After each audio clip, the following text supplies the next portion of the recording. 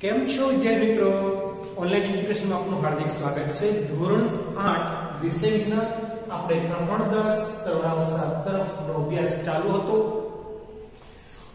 મુદ્દાઓ જે ત્રીજા ભાગનો અભ્યાસ કરીશું, તેના મુદ્દાઓ છે કે મનુષ્યમાં પ્રજનન કાળની અવધિ સંતતિનું લિંગ નિશ્ચય અન્ય અંતસ્ત્રાવો વિશેનો અભ્યાસ કરીશું. સાથે સાથે પાઠ્યપુસ્તક આધારિત જે પ્રશ્નો છે, એ પ્રશ્નો અહીંયા ચૌદ કરતા વધારે હોવાથી બોર્ડમાં સમાઈ શકે તેમ નથી. તો નોટબુક અને બોલપેન લઈ લો હાથમાં. પહેલા હું તમને હોમવર્કના પ્રશ્ન લખાવીશ અને ત્યાર પછી તમારા જે મુદ્દાઓ છે એનો અભ્યાસ શરૂ કરીશું. તો ચલો, તમારા કુલ 21 પ્રશ્ન તમારે લખવાના છે. ક્રમ આપવા આપી દેશો. 1 2 3 4 5 6 7 8 9 10 11 12 તેર ચૌદ, પંદર, સોળ, સત્તર, અઢાર, ઓગણીસ, વીસ અને એકવીસ. ચલો, પ્રશ્નોના ક્રમ તમે આપી દીધા છે. પહેલો પ્રશ્ન તમારા માટે છે, સ્ત્રીમાં યૌનારંભ અવસ્થાની ઉંમર જણાવો. પાછો એક પ્રશ્ન બોલું છું. સ્ત્રીમાં યૌનારંભના અવસ્થાની ઉંમર જણાવો. પ્રશ્ન નંબર બે. સ્ત્રીમાં અંડપિંડમાં એક અંડકોષ પરિપક્વ થવાનો સમય જણાવો. ફરીવાર પ્રશ્ન બીજો. સ્ત્રીમાં અંડપિંડમાં એક અંડકોષ પરિપક્વ થવાનો સમય જણાવો. પ્રશ્ન ત્રીજો લખશો. સ્ત્રીમાં અંતસ્ત્રાવ શા માટે? રક્ત સોરી સ્ત્રીમાં રક્તસ્ત્રાવ શા માટે થાય છે? પ્રશ્ન ત્રીજો ફરીવાર રિપીટ કરીશ. સ્ત્રીમાં રક્તસ્રાવ શા માટે થાય છે? પ્રશ્ન નંબર 4 ઋતુસ્રાવ કે રક્તસ્રાવ એટલે શું? ઋતુસ્રાવ કે રક્તસ્રાવ એટલે શું? પ્રશ્ન 5 રજો દર્શન કોને કહે છે? પ્રશ્ન પાંચમો. રજો દર્શન કોને કહે છે? પ્રશ્ન નંબર 6 સ્ત્રીમાં ઋતુસ્રાવ બંધ થવાની ઉંમર કેટલી હોય છે? પ્રશ્ન નંબર 6 સ્ત્રીમાં ઋતુસ્રાવ બંધ થવાની ઉંમર કેટલી હોય છે? પ્રશ્ન 7 રજો નિવૃત્તિ કોને કહે છે? પ્રશ્ન 7 રજો નિવૃત્તિ કોને કહે છે? પ્રશ્ન આઠ. ઋતુસ્રાવ ચક્રમાં કઈ ક્રિયાઓ સામેલ છે? પ્રશ્ન આઠમો. ઋતુસ્રાવ ચક્રમાં કઈ ક્રિયાઓ સામેલ છે? પ્રશ્ન નંબર નવ. મનુષ્યમાં કેટલા જોડ રંગસૂત્રો આવેલા હોય છે? પ્રશ્ન નંબર 9 મનુષ્યમાં કેટલા જોડ રંગસૂત્રો આવેલા હોય છે? પ્રશ્ન નંબર 10 23 જોડ રંગસૂત્રમાંથી લિંગી રંગસૂત્રોની સંખ્યા જણાવો. પ્રશ્ન 10મો ફરીવાર બોલું છું. 23 જોડ રંગસૂત્રોમાંથી લિંગી રંગસૂત્રોની સંખ્યા જણાવો તે કયા નામે ઓળખાય છે? તે કયા નામે ઓળખાય છે? પ્રશ્ન 11 સ્ત્રીમાં કયા રંગસૂત્ર આવેલા હોય છે? પ્રશ્ન 11મો સ્ત્રીમાં કયા રંગસૂત્રો આવેલા હોય છે?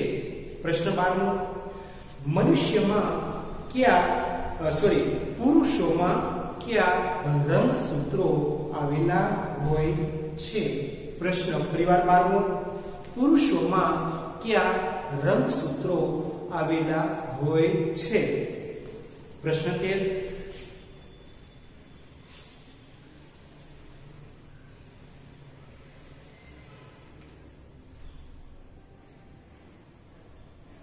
શિષ્યક લિંગ નિશ્ચય કોના લિંગી રંગસૂત્ર દ્વારા થાય છે? ચૌદમો પ્રશ્ન. શરીરમાં પિચ્યુટરી ગ્રંથિનું સ્થાન જણાવો. પ્રશ્ન ચૌદમો શરીરમાં પિચ્યુટરી ગ્રંથિનું સ્થાન જણાવો. પ્રશ્ન પંદર. આપણા શરીરમાં આવેલી બધી જ અંતસ્ત્રાવી ગ્રંથિઓના નામ આપો. પ્રશ્ન 15 આપણા શરીરમાં આવેલી બધી જ અંતસ્ત્રાવી ગ્રંથિઓના નામ આપો. પ્રશ્ન 16 થાઇરોઇડ ગ્રંથિ ક્યાં રોગ ઉત્પન્ન કરે છે? પ્રશ્ન 16 થાઇરોઇડ ગ્રંથિ કયો રોગ ઉત્પન્ન કરે છે? પ્રશ્ન 17 થાઇરોક્સિન અંતસ્ત્રાવ ઉત્પન્ન કરતી ગ્રંથિ કઈ છે? પ્રશ્ન 17 થાઇરોક્સિન અંતસ્ત્રાવ ઉત્પન્ન કરતી ગ્રંથિ કઈ છે? પ્રશ્ન 18 મધુપ્રમેહ અથવા તો ડાયાબિટીસ રોગ માટે કયો અંતસ્ત્રાવ જવાબદાર છે? ફરીવાર 18મો પ્રશ્ન. મધુપ્રમેહ અથવા ડાયાબિટીસ રોગ માટે કયો અંતસ્ત્રાવ જવાબદાર છે? પ્રશ્ન 19 રુધિરમાં ક્ષારની માત્રાને સંતુલિત કરતી ગ્રંથિ કઈ છે? 19મો પ્રશ્ન ફરીવાર રુધિરમાં ક્ષારની માત્રાને સંતુલિત કરતી ગ્રંથિ કઈ છે? પ્રશ્ન 20 શરીરમાં એડ્રિનલ ગ્રંથિનું કાર્ય જણાવો. પ્રશ્ન 20 શરીરમાં એડ્રિન, એડ્રિનલ ગ્રંથિનું કાર્ય જણાવો. અને પ્રશ્ન 21 વૃદ્ધિ અંતસ્ત્રાવ ઉત્પન્ન કરતી ગ્રંથિ કઈ છે? વૃદ્ધિ અંતસ્ત્રાવ ઉત્પન્ન કરતી ગ્રંથિ કઈ છે. તો વિદ્યાર્થી મિત્રો, અહીંયા તમારા કુલ હોમવર્કના મેં 21 પ્રશ્ન જે લખાયા છે, એ હું તમને જે મુદ્દાઓ સમજાવું છું, એ મુદ્દાઓ આધારિત હોવાથી તમારા હાથમાં પેન્સિલ લઈ અને જ્યાં જ્યાં સમજૂતીમાં એનો જવાબ મળતો જશે, ત્યાં અંડરલાઈન કરવાનું ભૂલશો નહીં. શરૂ કરીએ. પાઠ્યપુસ્તક લઈ લો હાથમાં.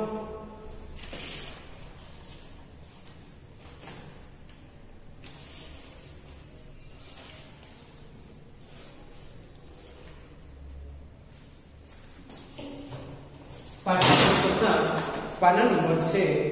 118 પર મનુષ્યમાં પ્રજનન કાળની અવધિથી આપણે એની શરૂઆત કરીશું.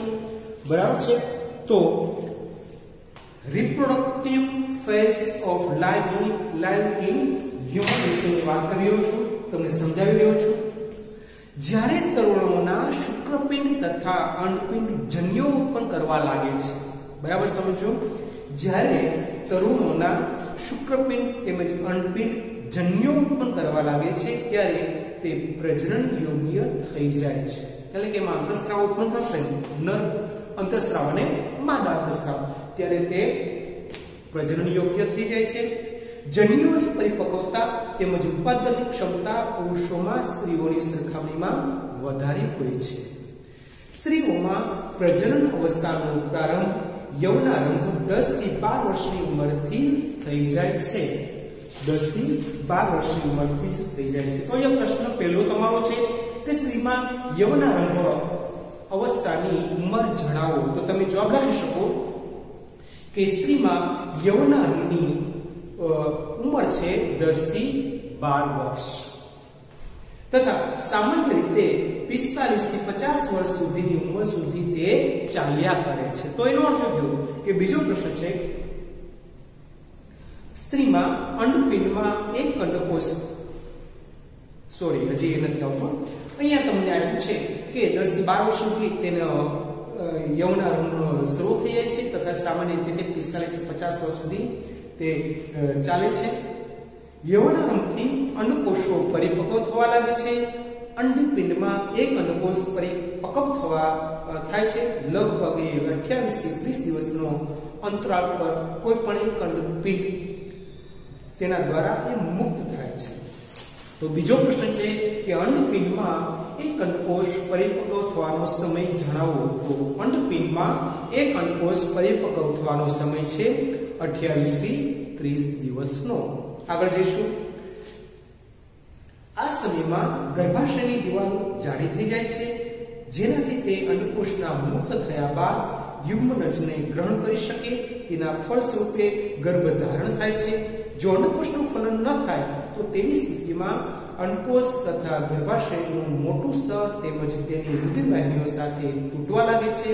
તેનાથી સ્ત્રીમાં રક્તસ્ત્રાવ થાય છે, જેને ઋતુસ્ત્રાવ અથવા રજોસ્ત્રાવ તરીકે ઓળખવામાં આવે છે. તો બીજો અહીંયા પ્રશ્ન જોઈએ કે સ્ત્રીમાં રક્તસ્ત્રાવ શા માટે થાય છે? તો અહીંયા કીધું છે કે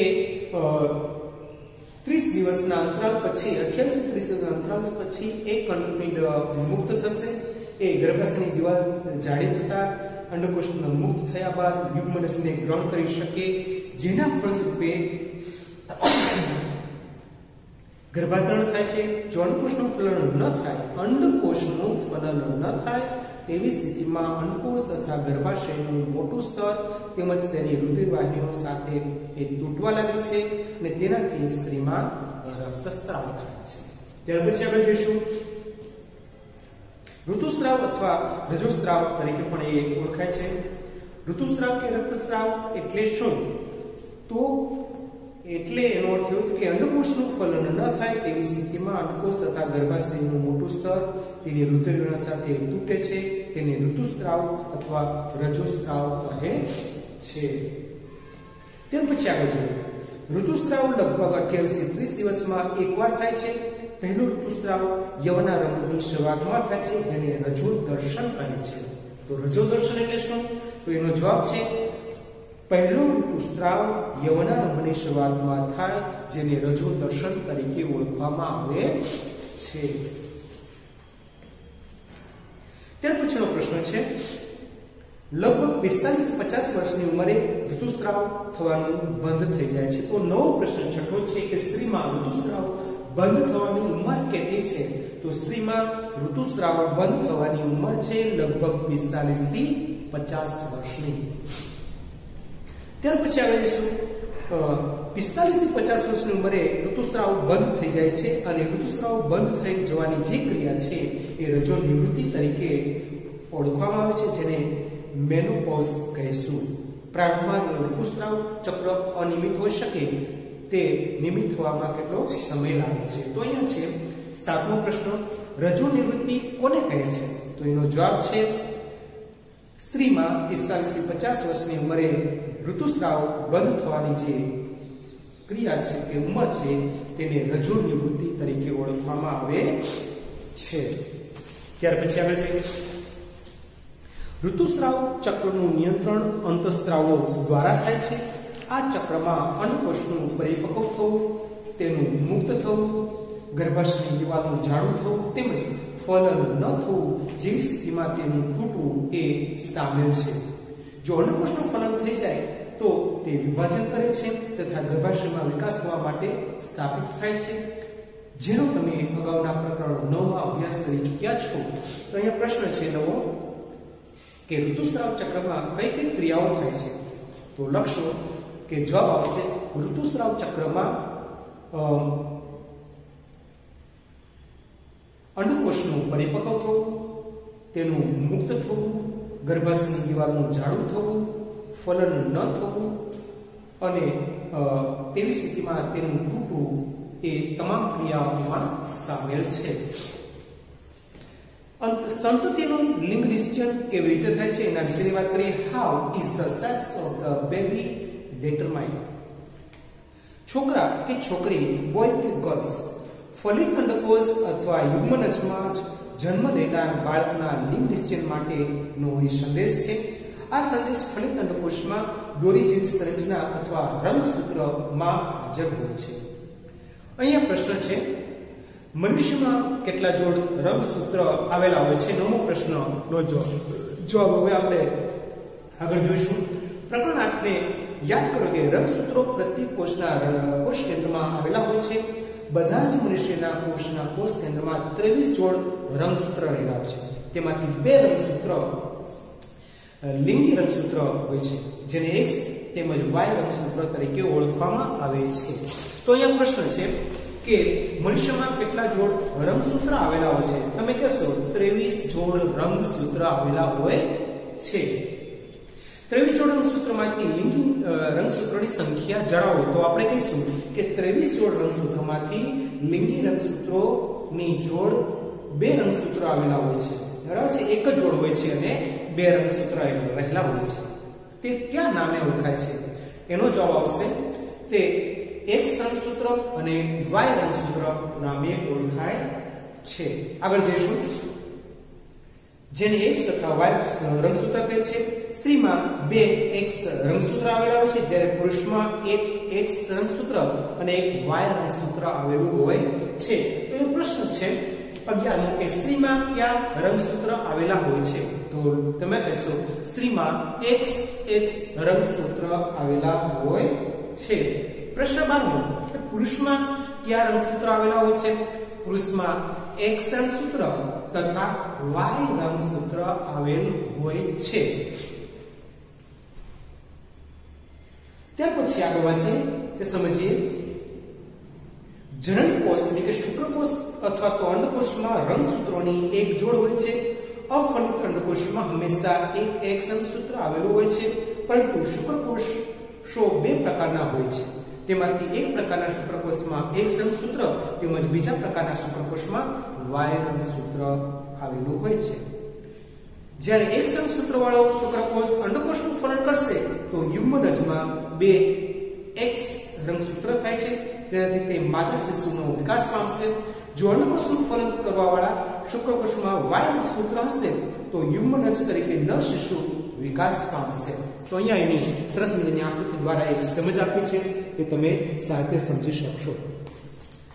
હવે અહીંયા પ્રશ્ન છે, તેરમો કે શિશુનું લિંગ નિશ્ચયન કોના લિંગ રંગસૂત્ર દ્વારા થાય છે? તો એનો જવાબ મળી શકે કે શિશુનું લિંગ નિશ્ચયન પિતા એટલે એક્સ અને વાય રંગસૂત્ર દ્વારા નક્કી થાય છે. તમે જાણી હશે કે જન્મ પહેલા શિશુનું લિંગ નિશ્ચયન તેના પિતાના લિંગી રંગસૂત્ર દ્વારા કરવામાં આવે છે. એ ધારણા હતી કે બાળકનું લિંગ નિશ્ચયન તેની માતા દ્વારા નક્કી કરવામાં આવે છે. વસ્તુ કે વાત ખોટી છે. તમે પહેલાના સમયમાં જોયું કે સાસુ છે એ સ્ત્રી પર અત્યાચાર ગુજારતી હોય છે, કારણ કે બાળકને જન્મ આપે છે. તો એના માટે જવાબદાર માતા નથી. એના માટે જવાબદાર પિતા છે કારણ કે પિતા પાસે લિંગ સ્ટેન માટેના એક્સ અને વાય રંગસૂત્ર હોય છે. જ્યારે માતા પાસે તો બંને એક્સ એક્સ રંગસૂત્ર જ હોય છે. તો કઈ રીતે તમે માતાને દોષિત ઠેરવી શકો? બરાબર છે? તો અત્યારના આધુનિક સમયમાં ખાસ અત્યારની પેઢી યાદ રાખશે કે લિંગ સ્ટેન માટે માદા જન્મે છે કે નર જન્મે છે? એના માટે જવાબદાર પિતા પોતે હોય છે. કારણ કે પિતાના લિંગી રંગસૂત્રમાં એક્સ અને વાય રંગસૂત્ર રહેલા છે. બરાબર છે? યાદ રાખશો ખાસ આગળ જઈએ. લિંગી અંતસ્ત્રાવનો સિવાય અન્ય અંતસ્ત્રાવો વિશેની વાત કરીશું. લાસ્ટ પણ લઈશું આપણે આ. લિંગ અંતસ્ત્રાવો સિવાય અન્ય અંતસ્ત્રાવો જેને ઇંગ્લિશમાં કહીશું hormones other than sex hormones આકૃતિ દસ પોઈન્ટ ત્રણ આપણે પુનઃ અવલોકન કરો. પિચ્યુટરી ગ્રંથિ દ્વારા અંતસ્ત્રાવ અંતસ્ત્રાવોનો જળાંકોનો અને અંતસ્ત્રાવો ઉત્પન્ન કરવા માટે ઉત્તેજન કરે છે. તમે અભ્યાસ કરી ચૂક્યા છો કે પિચ્યુટરી ગ્રંથિ એક અંતસ્ત્રાવી ગ્રંથિ છે જે મગજ સાથે જોડાયેલી છે. પિચ્યુટરી ગ્રંથિ શુક્રપિંડ તેમજ અંડપિંડ સિવાય આપણા શરીરમાં થાઇરોઇડ સ્વાદુપિંડ તેમજ એડ્રિનલ જેવી કેટલીક અન્ય અંતસ્ત્રાવી ગ્રંથિઓ પણ હોય છે. તો અહીંયા પ્રશ્ન જોઈ લઈએ તમારી પાસે પ્રશ્ન 14 શરીરમાં પિચ્યુટરી ગ્રંથિનું સ્થાન જણાવો. તો અહીંયા તમે કહી શકો કે શરીરમાં પિચ્યુટરી ગ્રંથિનું સ્થાન મગજમાં આવેલું છે. ત્યાર પછી નવો, પંદરમો પ્રશ્ન. આપણા શરીરમાં આવેલી બધી જ અંતઃસ્ત્રાવી ગ્રંથિઓના નામ આપો. તો તમે કહી શકો, પંદરમા પ્રશ્નનો જવાબ, પિચ્યુટરી ગ્રંથિ, શુક્રપિંડ તેમજ અનપંડી અંડપિંડ સિવાય થાઇરોઇડ ગ્રંથિ સ્વાદુપિંડ ગ્રંથિ અને એડ્રિનલ ગ્રંથિ એ અંતઃસ્રાવી ગ્રંથિઓ આપણા શરીરમાં આવેલી છે. ત્યાર પછી આગળ જઈશું. અહીંયા તમે એ બધા ગ્રંથિઓના સ્થાન આકૃતિમાં સારી રીતે જોઈ શકો છો. ત્યાર પછી આગળ જઈએ. બુજુ અને પહેલીની યાદ આવે છે કે જ્યારે તે તેની માસીને ઘરે ગયા, જે ડોક્ટર હતા, ત્યારે તેમણે ત્યાં કાકા નામના કાકા નામના છોકરાને જોયો હતો. જેનું ગળું વધારે પડતું ફૂલેલું હતું. તેમની માસીએ જણાવ્યું કે કાકા ગોઈટર નામના રોગથી પીડાય છે, જે થાઇરોઇડ ગ્રંથિ નો રોગ છે. કાકાની થાઇરોઇડ ગ્રંથિ થાઇરોક્સિન અંતસ્ત્રાવ ઉત્પન્ન કરતી ન હતી. તેમની માસીએ પણ એ જણાવ્યું કે તેમના માસાના મધુ પ્રમેયથી પીડાય છે, કારણ કે તેમનું સ્વાદુપિંડ ઇન્સ્યુલિન અંતસ્ત્રાવ પર્યાપ્ત માત્રામાં ઉત્પન્ન કરતો ન હતો. તો અહીંયા જોઈએ કે પ્રશ્ન નંબર 16 થાઇરોઇડ ગ્રંથિથી કયો રોગ ઉત્પન્ન થાય છે?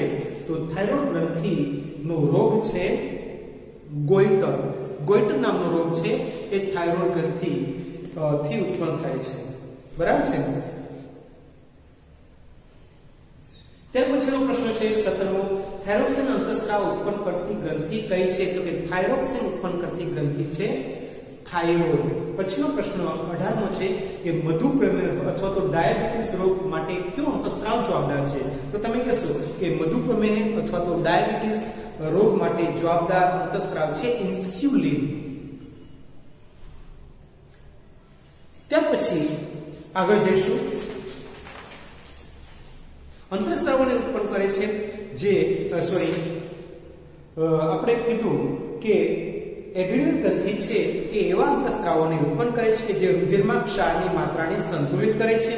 એડ્રીનલ ગ્રંથિ રુધિર એડ્રા, એડ્રીનાલિન નામનો અંતસ્ત્રાવ ઉત્પન્ન કરે છે. એડ્રીનાલિન સ્ત્રાવ ગુસ્સો, ચિંતા તથા ઉત્તેજનાની અવસ્થામાં તણાવની સ્થિતિને નિયંત્રણ રાખવાનું કાર્ય કરે છે. થાઇરોઇડ તેમજ એડ્રીનલ ગ્રંથિ, પિચ્યુટરી ગ્રંથિ દ્વારા સ્રવિત અંતસ્ત્રાવના માધ્યમ દ્વારા મળતા જે આદેશ છે એ અનુસાર પોતાનો અંતસ્ત્રાવને મુક્ત કરવાનું કાર્ય કરે છે. પિચ્યુટરી ગ્રંથિ વૃદ્ધિ અંતસ્ત્રાવ પણ ઉત્પન્ન કરે છે, જે વ્યક્તિની સામાન્ય વૃદ્ધિ માટે જવાબદાર હોય છે. તો અહીંયા જોઈએ, જે બાકી રહેતા પ્રશ્નોમાં રુધિરમાં ક્ષારની માત્રાને સંતુલિત કરતી ગ્રંથિ કઈ છે, તો તમે કહેશો, રુધિરને ક્ષારની ગ્રંથિને સંતુલિત કરતી ગ્રંથિ એટલે રુધિરમાં ક્ષારની માત્રાને સંતુલિત કરતી ગ્રંથિ છે, એડ્રીનાલિન ગ્રંથિ. ત્યાર પછીનો પ્રશ્ન છે વીસમો શરીરમાં એડ્રિનલ ગ્રંથિનું કાર્ય જણાવો. તો શરીરમાં એડ્રિનલ ગ્રંથિ છે એ ગુસ્સો, ચિંતા, ઉત્તેજના અને તણાવની સ્થિતિ છે, એને નિયંત્રણ કરવાનું કાર્ય કરે છે. ત્યાર પછીનો પ્રશ્ન છે, વૃદ્ધિ અંતસ્ત્રાવ ઉત્પન્ન કરતી ગ્રંથિ કઈ છે? તો વૃદ્ધિ અંતસ્ત્રાવ ઉત્પન્ન કરતી ગ્રંથિ પિચ્યુટરી ગ્રંથિ છે. તો વિદ્યાર્થી મિત્રો અહીંયા સુધી ખૂબ જ સારી રીતે આપણે તમામ મુદ્દાઓનો અભ્યાસ કર્યો. સાથે સાથે તમામે તમામ 21 પ્રશ્નોના જવાબ મેળવવા પૂરો પ્રયત્ન કર્યો. મને આશા છે તમે તમામ પ્રશ્નોને જવાબને ટપકાવી લીધા હશે. હોમવર્ક રીતે પૂરું કરો અને વ્યવસ્થિત તૈયારી કરશો, જેથી તમે સારા માર્ક્સ મેળવી શકશો. ચલો નેક્સ્ટ લેક્ચરમાં આપણે આ પ્રકરણને હજી આગળ તપાવીશું ત્યાં સુધી આવજો. Bye bye